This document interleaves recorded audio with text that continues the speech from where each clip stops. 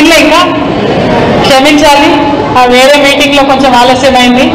ముఖ్యులు మన బత్తిని రమేష్ గారు గడిల భూమేష్ గారు లింగంపల్లి సురేందర్ గారు దేశాయి గంగాధర్ గారు అట్లానే మా సోదరి కోమలి గారు కార్పొరేటర్ గారు వేదిక మీద ఉన్నటువంటి గౌరవనీయులు మిగతా సంఘ సభ్యులు కార్పొరేటర్లు నాయకులు మరి మా మేయరమ్మ గారు అట్లానే మన అలీంబాయి గారు శిల్పరాజు గారు అందరికన్నా ముఖ్యంగా మరి ఇవాళ మీ ఆశీర్వాదం కోరుతూ మీ దగ్గరకు వచ్చినటువంటి మా గణేష్ గుప్తా అన్నగారిని అందరం కూడా ఈ ఎన్నికల సందర్భంలో ఆశీర్వదించి దీవించవలసిందిగా మిమ్మల్ని కోరడానికి ఇక్కడికి వచ్చినాం.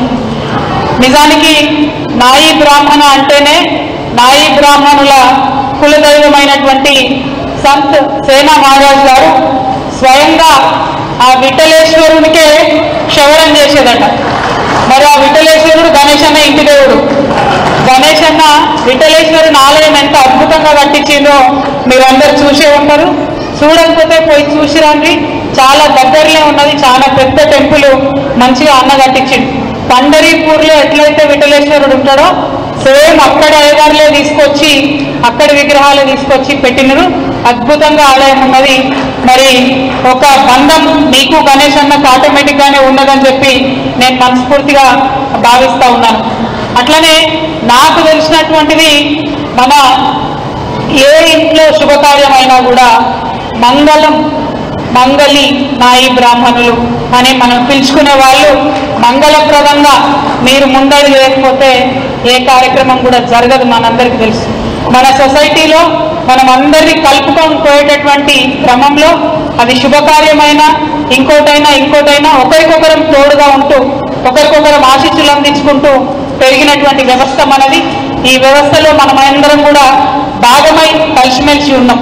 మరి రాను రాను ముఖ్యంగా మన అశ్విని దేవతల యొక్క వారసులైనటువంటి మన నాయి బ్రాహ్మణ సోదరులు రాను రాను రాను రాను మరి క్షవరం చేసుకోవడం అనేటటువంటి కుల వృత్తిని పాటిస్తూ ఇవాళ సెలవులుగా అన్ని రకాలుగా ఎదుగుతూ ముందుకొచ్చాం.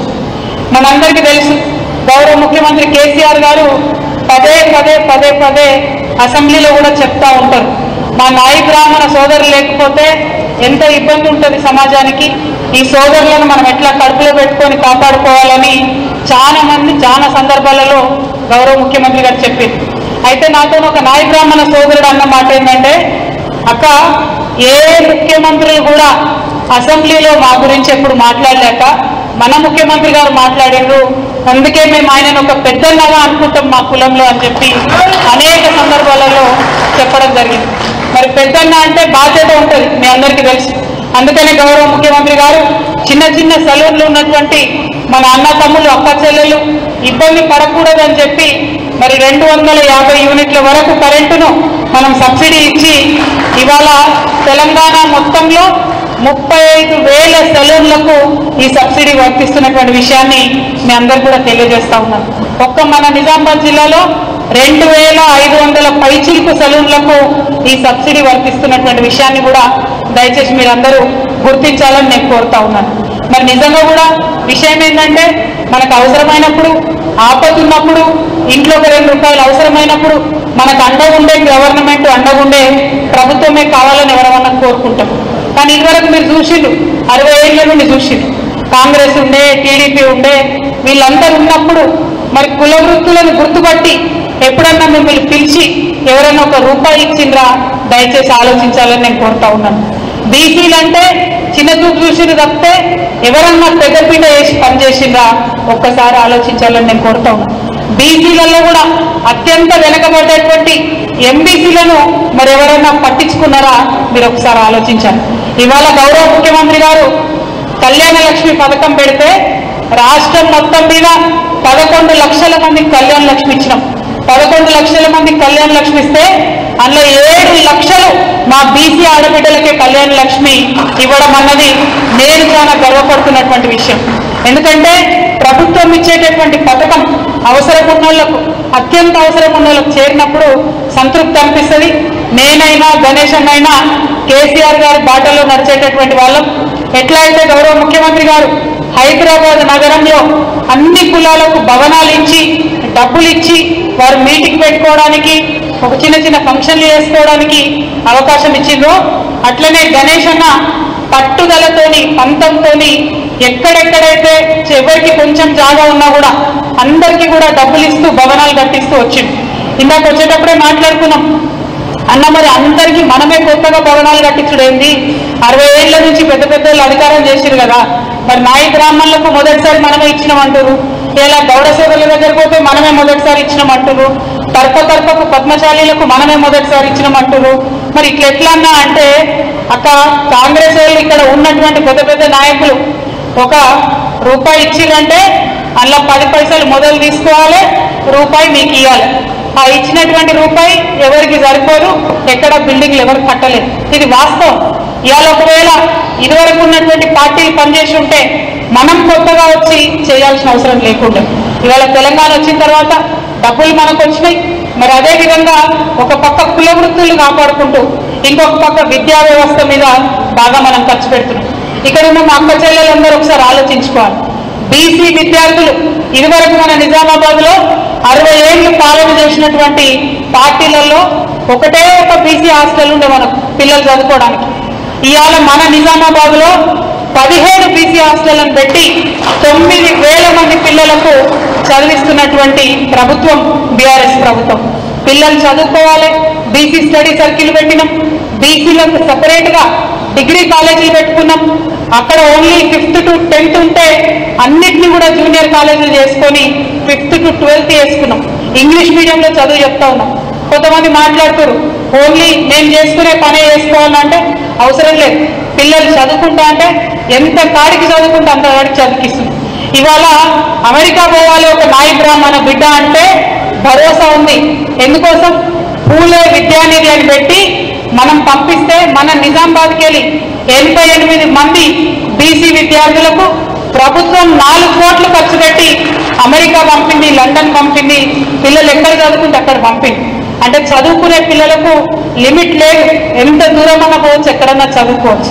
ఒక పక్క చదువు వారి భవిష్యత్తు ఇంకొక పక్క చేసుకుంటున్నటువంటి కులవృత్తి దానికి సంబంధించి సపోర్టు ఇంకొక పక్క ఇంట్లో కళ్యాణమైన సపోర్టు పెద్దవాళ్ళు ఉంటే పెన్షన్ ఇన్ని రకాల పనులు చేసుకుంటూ పోతా ఉన్నాం. ఇవన్నీ మీ దృష్టికి తీసుకొస్తున్నాం.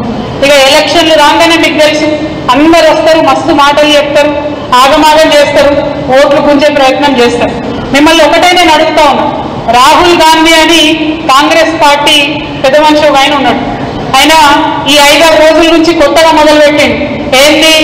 బీసీలనట ఎంతమంది ఉన్నారో లెక్క పెట్టాలన్నట పెట్టి బీసీలకు రిజర్వేషన్లు ఇవ్వాలి బీసీలకు జనగణన చేయాలి అని ఇలా కొత్త చెప్తుంది మన కేసీఆర్ సారు రెండు వేల పద్నాలుగులో ముఖ్యమంత్రి కాగానే బీసీలకు ముప్పై మూడు శాతం రిజర్వేషన్ ఇవ్వాలని అసెంబ్లీలో మొట్టమొదటి తీర్మానం చేసిన ఏకైక ముఖ్యమంత్రి మన ముఖ్యమంత్రి గారు. అంతేకాకుండా బీసీలకు సపరేట్ కమిషన్ ఉండాలి.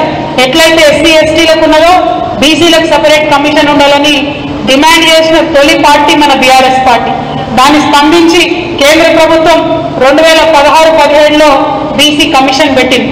ఆ తర్వాత మనం ఒకటి అడిగినాం మరి దేశంలో ఇంతమంది బీసీలు ఉన్నారు? కనీసం బీసీలకు ఒక మంత్రిత్వ శాఖ ఉండాలి కదా. బీసీ వెల్ఫేర్ మినిస్ట్రీ కేంద్రంలో ఉండాలి కదా. ఎందుకంటే రాష్ట్రంలో ఉంటాడు. ఆడికెళ్ళి ఏం డబ్బులు వస్తాయో తెలియదు వచ్చే డబ్బులు ఎవరు ఖర్చు పెడతారో తెలియదు మరి బీసీ వెల్ఫేర్ మంత్రి ఉండాలంటే ఇంతవరకు కాంగ్రెస్ మాట్లాడలే బీజేపీ మాట్లాడలే. ఇక నిన్న కొత్తగా రాహుల్ గాంధీ గారు అరవై ఏళ్ళు అధికారం చేసినప్పుడు చేయడట. ఇప్పుడేమో బీసీలకు ఏదో చేస్తా అని మాట్లాడుతూ ఉన్నాడు. మీరందరూ కూడా ఈ విషయాల్ని దయచేసి గమనించాలి. ఎందుకంటే బీఆర్ఎస్ పార్టీ మొట్టమొదట తెలంగాణ రాగానే మీ అందరికీ ఆదుకుండొచ్చు అందరి ఇళ్ళలో ఉండండి. ఇవాళ జనాభా లెక్క పెట్టడానికి వస్తున్నారని చెప్పినాం. చెప్పి ఒకటే రోజులో సమగ్ర కుటుంబ సర్వే చేసుకున్నాం మనం తెలంగాణ మొత్తం మీద. చేసుకున్నాం కాబట్టే ఇవాళ ముప్పై ఐదు వేల సలూన్లు మన నాయ బ్రాహ్మణుల సోదరులకు డైరెక్ట్గా సబ్సిడీ ఇవ్వగలుగుతా ఉన్నాం. ఇవాళ సర్వే చేసినాం కాబట్టే నిజామాబాద్లో ఒక్క బీసీ హాస్టల్ ఉంటే సరిపోదు. పదిహేను ఉండాలని ఇలా పదిహేను బీసీ హాస్టల్ పెట్టుకున్నాం. మనం ఆనాడు సర్వే చేసినాం కాబట్టి ఇలా మైనార్టీలకు ఇస్తున్నాం ఎస్సీలకు ఇస్తున్నాం ఎస్టీలకు ఇస్తున్నాం.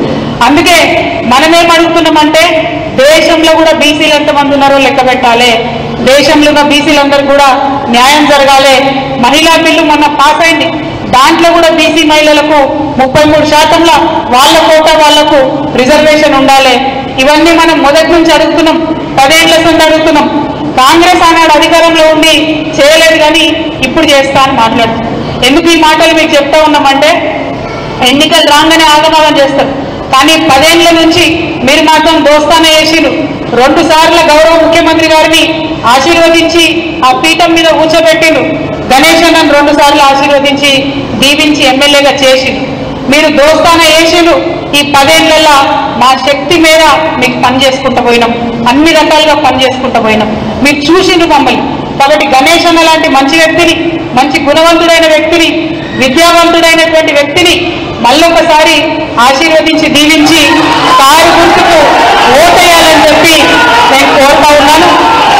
మీరు గణేష్ అన్న కేసే ప్రతి ఓటు డైరెక్ట్గా కేసీఆర్ కేసే ఓటు అన్న విషయం దయచేసి గుర్తుంచుకోవాలని ఈ సందర్భంగా తెలియజేస్తూ మరి ఆకలి అవుతున్నా కూడా మా ఆడబిడ్డలు ఓపికగా కూర్చున్నారు చిన్నపిల్లలు కూర్చున్నారు.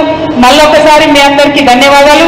మా అన్నలు తినకుండా నడుస్తుంది కానీ అక్క చెల్లెలకు ఆకలైనందుకు క్షమించాలని కోరుతూ మళ్ళీ ఒకసారి మీ అందరికీ ధన్యవాదాలు. జై తెలంగాణ.